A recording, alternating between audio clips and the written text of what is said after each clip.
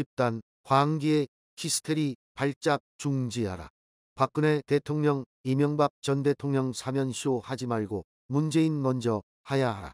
이것이 민심이고 국민의 희망이다. 박근혜 이명박 대통령의 사면 문제를 반민주당 최고위에서 국민의 공감대와 당사자의 반성이 중요하다고 했다. 참으로 기절 초풍할 일이다. 미친 개가 한밤중에 달 보고 짖는 소리 같다. 너희들이 말하는 국민은 도대체 누구냐? 문바들이고 백개문들이고 민주건달 기생충들이 아니냐? 촛불 난동 뽕이병들이고 종북 좌팔 주사파들이 아닌가? 또한 당사자들의 반성이 중요하다고 누가 사면해 달라고 부탁했느냐? 적반하장도 유분수지 똥 묻은 돼지가 겨 묻은 돼지를 나무라는 격이다. 촛불 광란 홍이병들아 박근혜 대통령의 죄가 뭐냐?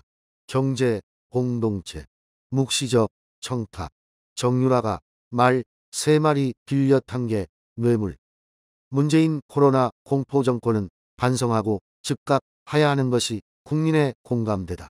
많은 지식인과 지성인들은 지금 대한민국이 20세기 철학자 칼리아스퍼스가 말하는 기축시대 전으로 돌아갔다고 한탄하고 절규하고 있다. 기축시대를 통해서 인류가 새롭게 거듭나고 인류 정신 문명의 기본축이 된다는 의미이다. 기축시대 전에는 인류는 짐승과 다를 바가 없었다. 약육강식의 비정상 야만시대 강자가 약자를 때려 죽여도 아무런 죄의식이 없는 상태로서 개돼지만도 못한 시대였다. 지금 대한민국은 기축시대 전에 짐승 본성 상태에 머물러 있다. 거여 여당의 입법 독재 3년.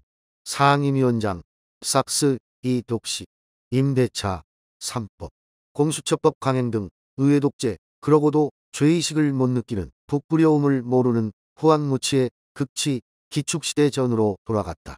조국, 윤미향, 추미애, 변창흠, 오거돈, 박원순 등의 철면피 같은 후한무치. 기축시대 이전으로 돌아가 짐승의 본능을 최고조로 발휘하고 있다. 매년 수만 채의 새 아파트 수요가 증가함에도 공급이 따르지 못하는 얼토당토하는 공공임대주택, 호텔 개조, 원룸공법, 임대주택이 아늑하고 살만하다고 국민 염장을 지르는 문재인의 인지 부조화 발언과 부동산 폭등 정책, 동서고금에 듣지 못하는 소득주도 성장, 비핵화 협상 실패와 국제적 왕따, 탈원전 정책으로 2천조가 날아가는 미치광이 짓이지. 우한 바이러스 입국을 막지 못한 살인마 정권, 슈퍼 전파자는 바로 문재인 정권이다.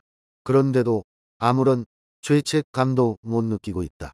3년 반 동안 적폐청산이라는 미명 아래 두 전직 대통령과 4명의 국정원장, 대법원장, 장관, 차관 등 선조시대의 천여 명을 학살한 기축사화에 버금가는 정치보복과 자유우파 궤멸 작전으로 거의 공산사회주의 9부 능선에 와 있는 것처럼 느껴진다. 촛불광란의 불법 사기 탄핵과 불법 정권 찬탈 행위에 대해서 아무런 죄의식이 없다.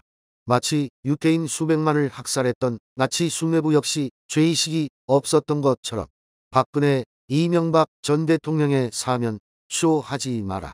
박근혜 대통령 원상복귀만이 답이고 정도이다. 집단 관계, 집단 히스테리가 온 나라에 발작하는 작금의 상황, 증오와 적개심, 그리고 분열로 대한민국은 암흑의 터널로 들어갔다. 촛불광란, 홍위병들이 집단 관계의 집단 히스테리 발작을 당장 중단하라. 강천, 의, 규태